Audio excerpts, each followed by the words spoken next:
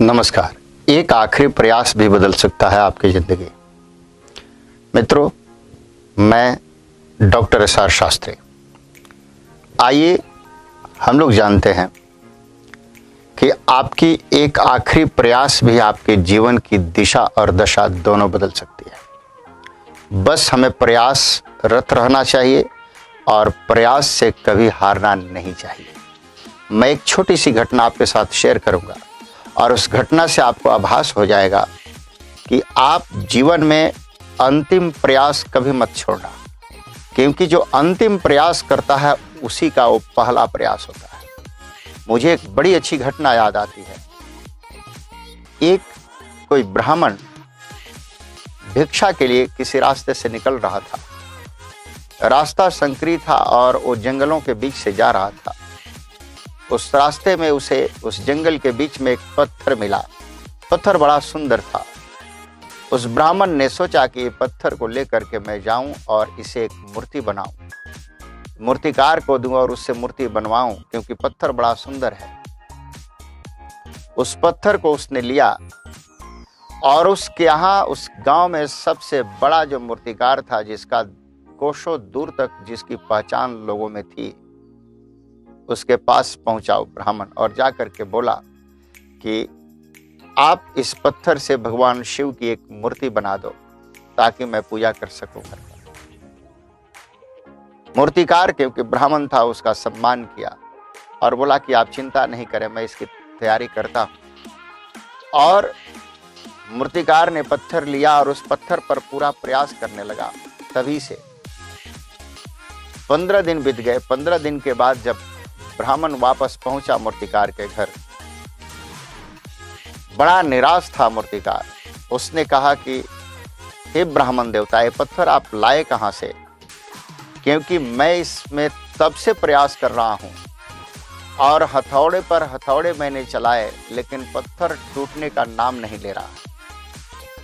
और मेरे लिए बड़ा मुश्किल है कि मैं इसे कुछ बना पाऊँ, क्योंकि जब पत्थर टूटेगा नहीं तो बनेगा कैसे? तो मैं क्षमा चाहूँगा। ब्राह्मण भी बड़ा निराश थे।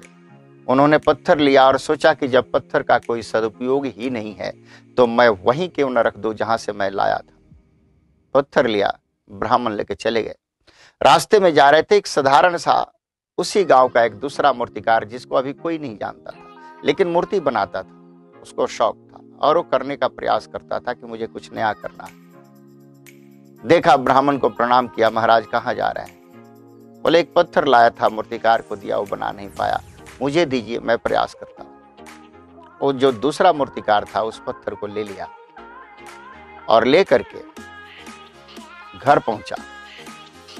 आप मानेंगे नहीं, उसने पहला हथौड़ा मारा और पत्थर टूट गया।